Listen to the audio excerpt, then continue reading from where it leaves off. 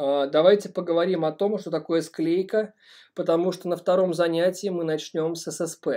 Поэтому давайте тогда говорить лучше не про э, личность, сейчас мы это пропустим, это не столь важно. Я посвятил много времени базовым вещам. Давайте говорить про ССП. Пишем. Значит, э, базовые знания для управления собой. Базовые знания для управления собой. Значит, чтобы научиться управлять собой, надо сначала понимать, как мы не управляем собой, да? Вот смотрите. Значит, как выглядит обычный рефлекс человека? Что такое личность? К этому сейчас мы подойдем все равно, без этого не получится. Есть определенные стимулы. Стимулы – это события. Пишем. Стимулы – это события, воспоминания – мысли, фантазии, слова, etc. и так далее. Все это стимулы.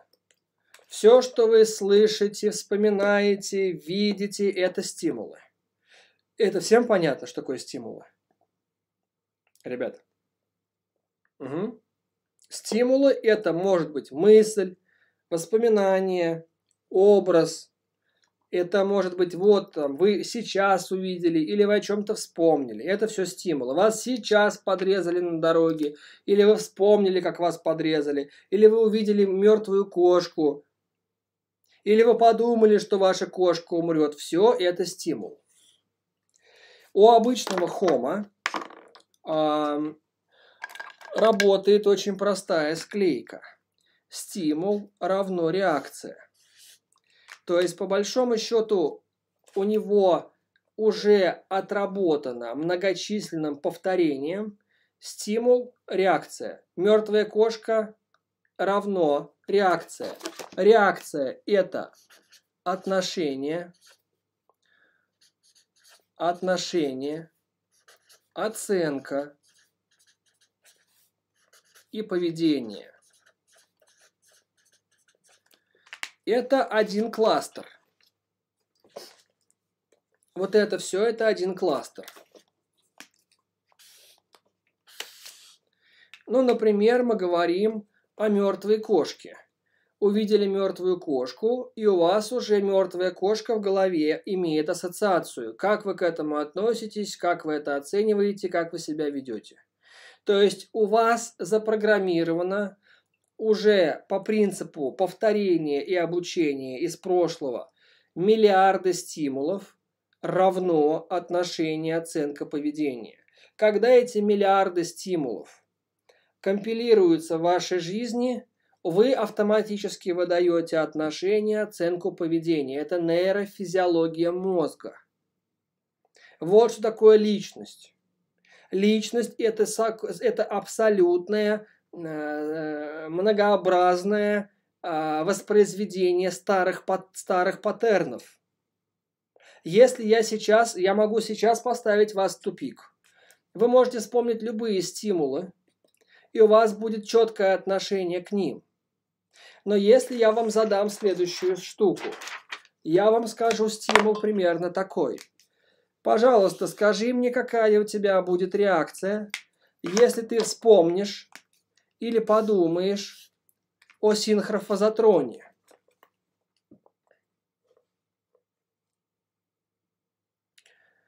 Вспомни сейчас о синхрофазотроне. Какое у тебя отношение к синхрофазотрону?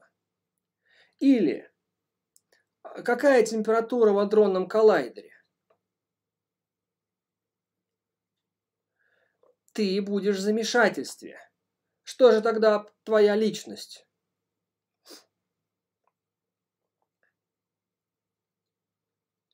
Что же тогда из тебя представляет твоя личность? Катерина правильно ответила. Не знаю. Потому что личность это только то, что вы знаете. Но знаете вы, это тоже неправильно. Потому что вы не знаете. Потому что у вас есть просто склейка, события и оценка и поведение. Это не знание. – это ярлыки. Плюсик ставим, кто понял. Ваша личность – это многомиллиардная ярлычная комбинация из стимулов и ярлыка. Из стимулов и ярлыка. Под ярлыком я понимаю суждение и поведение. И по большому счету я вас ставлю в тупик. Я вам говорю андронный коллайдер или синхрофазотрон, и у вас нет ярлыка. Вы в замешательстве. Если я вам покажу андронный коллайдер, расскажу, какая там минусовая температура и почему.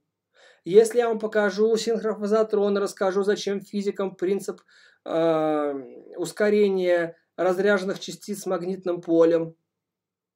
Ваша личность это услышит. Э, ваш головной мозг будет иметь этот опыт. И когда в будущем у вас будет все, что связано со стимулом синхрофазотрон андронный коллайдер, у вас уже воспроизведется какое-то знание и какое-то поведение. Вот что такое личность. Это понятно базовая штука? Следовательно, что такое личностный рост?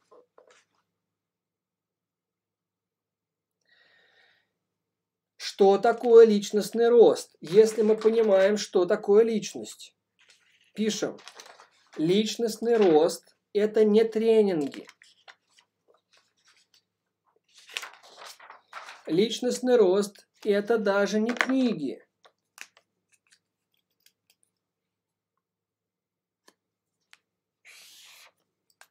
Личностный рост возможен только при определенных условиях. Это примеры значимых для вас людей. Повторение. Уважение. по, под, похвала, э, зависть,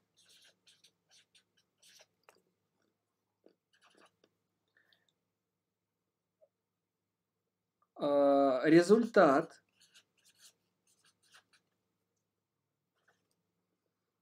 победа,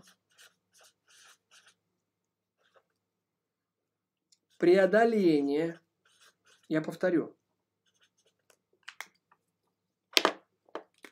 Все эти тренинги и тренеры по личностному росту – это просто головы, которые собирают деньги на вашем спросе. Я не побоюсь этого слова. Я много их знаю. Это полный пиздец. Но people it. Итак, единственное, что может развить головной мозг, с точки зрения, если говорить про личность, как миллиардную ярлычную систему, это следующее. Вы должны иметь авторитетных для себя людей вашей стае, у которых вы будете методом повторения через уважение и похвалу на основании зависти к ним подражать каким-то поведением и каким-то ярлычным оценкам. Ну, проще говоря, если вы встретили Ивана Ивановича, и он для вас является кумиром, авторитетом, то ваш мозг будет повторять из-за уважения, из-за его похвалы, из-за из зависти его статуса. И у вас начнется выстраиваться новая система стимулов, у которых отношение, оценка и поведение будет заимствовано у Ивана Ивановича. И таким образом кусочек фактически Ивана Ивановича окажется внутри вас. И это и есть личностные изменения. Поэтому, когда человека помещают в тюрьму, он становится уже через полгода-год кусочком огромного количества тюремных авторитетов. И его личность действительно меняется. Меняется его мозг. Меняется огромное количество ярлыков и поведенческих, и эмоциональных паттернов. Эти эксперименты очень хорошо описаны. Есть очень знаменитый эксперимент. Посмотрите, пожалуйста, фильм. Он называется «Эксперимент». Я обожаю этот фильм. Я его смотрел лет семь назад, или, может быть, пять. Этот эксперимент был, этот фильм, точнее, был э, снят на основании действительного эксперимента, который был приведен, не помню кем, не помню когда, когда людей поместили в тюрьму и заставили играть роли надзирателей и роли заключенных. И как люди менялись, попадая в определенные Стэнфордский, да, наверное. Как люди менялись, попадая к определенным авторитетам, определенные паттерны поведения системы. Люди становились, имели другие системы, стимулы и ярлыки, и они менялись полностью. И пишем второй вариант личностного роста. Это тогда, когда вы перешагиваете через собственные сложности когда вы достигаете результатов. И самое главное, когда вы побеждаете или просто преодолеваете себя. Вспомните, как вас выбрасывались гормоны. Когда вы сдавали тяжелый экзамен. Помните, что у вас был полный пиздец сессии, а вы ее закрыли. Вы говорили, блядь, сука, молодец. Туда же ответ про самооценку невозможно поднять самооценку на тренингах женских, и на вас зарабатывают. Невозможно поднять самооценку просто потому, что вы э, прочитали книгу. Самооценка поднимается только... Роберт, сделай пометку, что вот этот блок про самооценку. Самооценка поднимается только тогда, когда вы преодолеваете усилия над собой. Когда вы достигаете, вам было страшно, непонятно, одиноко, но вы преодолели это. И вы себя за это хвалите. Вы выжили, вы смогли. Вы получили результат. Вот эти фундаменты являются а, основой самооценки. Итак, я подытожу. Что же такое личность? Роберт, ты сможешь э, вот весь этот блок про личность вырезать, тоже важно очень. Что же такое личность? Два момента развивают личность. Во-первых, личность – это наличие ярлыков, где у вас есть типичное отношение, типичное поведение. Поняли все? Второе. Чтобы изменилась ваша так называемая личность, вы должны обрасти новым количеством стимулов, либо которые вы заимствуете у авторитетных людей. Но если вы будете работать с авторитетным руководителем, вы через год заговорите, как он. Вы через год будете делать, как он. Вы будете ему подражать бессознательно. Ваш мозг сам это впитает. Подсказку хотите? Не надо это делать намеренно. Достаточно проявить уважение, искренне к этому человеку, к его результату и начать ему завидовать. И ваш мозг сам скопирует. Вы на самом деле копируете тех, кому вы завидуете. Вы ему завидуете, пишете про него всякое говно в интернете. Но вы делаете бессознательно, как он. Вы начинаете говорить его словами. У меня тоже есть хейтеры, которые меня не любят. Во всяком случае, они публично говорят, что они меня не любят но в их поведении очень четко прослеживается подражание, интонации, словосочетания, фразы. Потому что когда вы завидуете, ваш мозг вас не спрашивает. Он автоматически туда собирает компиляцию. И получается парадокс. Человек, которому вы завидуете, вы его не любите, а вы делаете как он говорите как он. И взаимодействуйте как он. Хотя всем говорите, что вы его ненавидите. А вот если вы его ненавидите, ему не завидуете, то нет. Поэтому если вы встретите человека, которого вы уважаете и которому вы завидуете, вы бессознательно начнете копировать.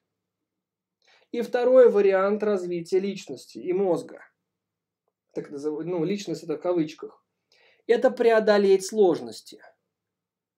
Преодолеть решение вопросов, тяжелых вопросов, задач, сложных жизненных ситуаций. Только этими двумя способами разрабатываются новые стимулы и реакции. И когда это все, пишем, помножается на время,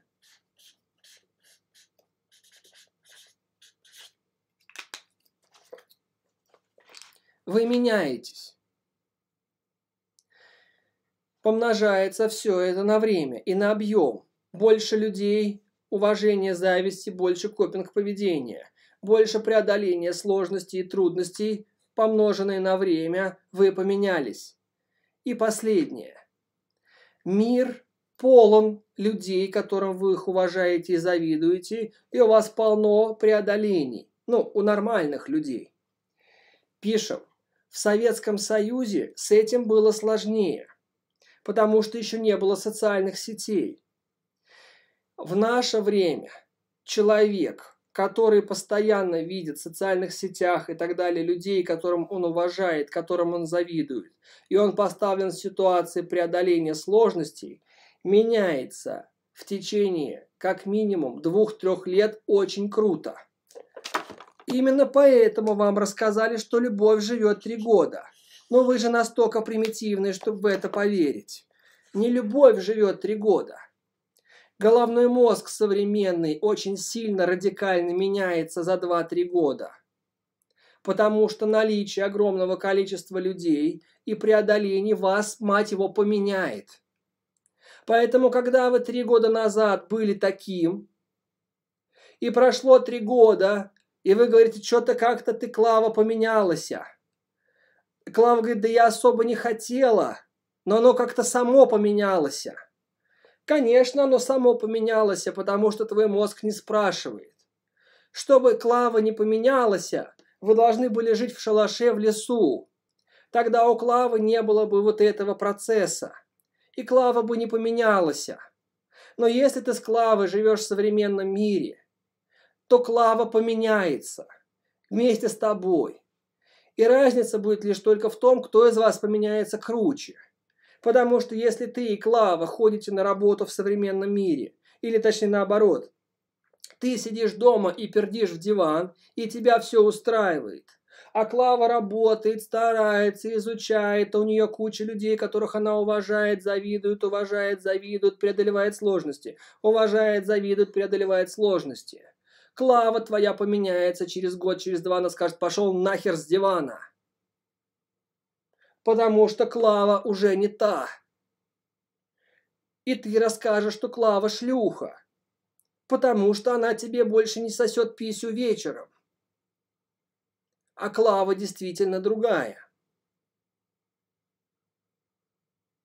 И если вы хотите развиваться, то вам придется понять, что это происходит естественно.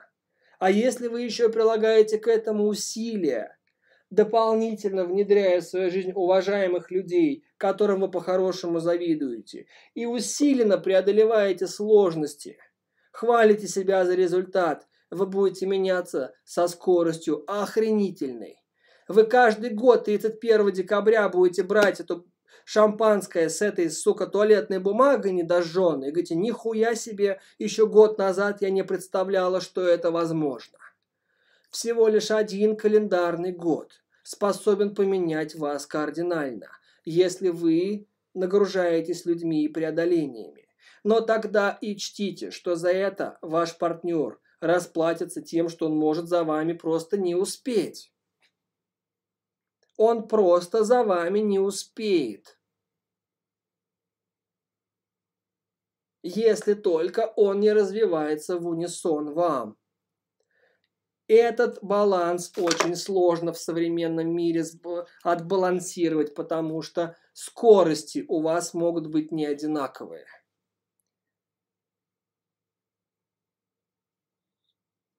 Об этом на женском интенсиве мы тоже будем говорить. Потому что девчонки по этому поводу тоже загоняются. Они загоняются, потому что они говорят, блин, Леша, я два года назад встретила парня. Я его искренне любила, он меня Прошло два года, я не могу понять, что со мной. Мне плохо. Я плохая. Я начинаю разбираться. Или парень ко мне приходит и говорит, Леша, у меня чувство вины. Я женился. У меня прекрасная дочь. У меня прекрасный сын. Я не понимаю, что со мной. Я любил ее. Куда делась? Мы начинаем разбираться, оказывается, что человек насыщал свою жизнь преодолениями, людьми, преодолениями, людьми, а его супруга искренне занималась детьми дома. Погруженная в доминантии уборки, воспитания, решения бытовых проблем. Прошло 2-3 года, он другой. И он не может понять, что с ним. Мозг меняется. Люди меняются. И их скорость прямо пропорциональна с объемом их выполняемых задач и примеров. Это та первая реальность, которую я хочу всунуть вам в голову, сняв розовые очки.